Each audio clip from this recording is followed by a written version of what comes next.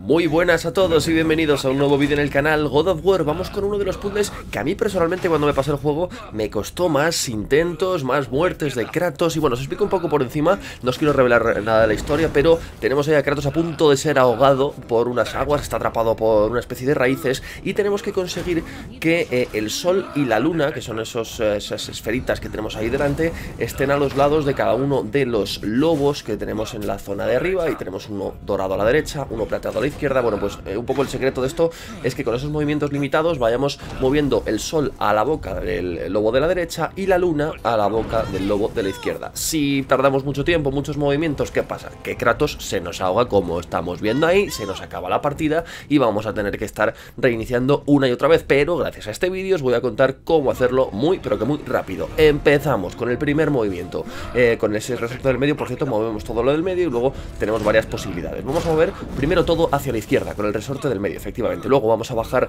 la luna con ese resorte de la izquierda. Le vamos dando las órdenes a Atreus, al, niño, ¿no? Ahora cuando estamos en el tercer movimiento, vamos a pulsar otra vez ahí en el medio para que vayan todos los iconos. El de Midgar, que es el verde ese de ahí, y el sol hacia la derecha. Ahí tenemos al sol ya.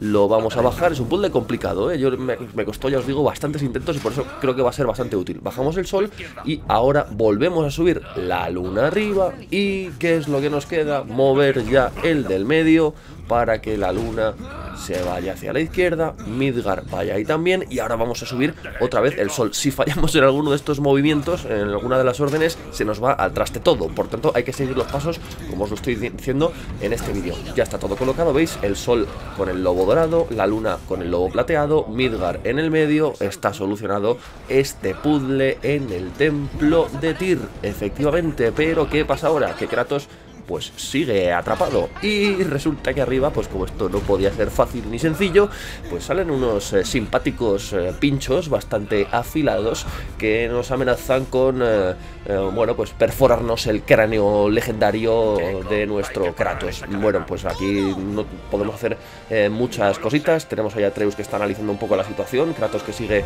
por cierto, atrapado, ¿no? Y una vez que está así analizándolo con el cuchillo en la mano, a Atreus se le ocurre algo y, bueno, simplemente vamos a tener que pulsar el cuadrado para intentar desbloquear o bloquear más bien eh, esa cadena y vamos a ver qué pasa. Habremos salvado al Papa o no. Están los pinchos ahí ya prácticamente lamiéndole la calva a Kratos y ahora empieza a haber explosiones hacia, hacia todos los lados. La otra cadena también revienta.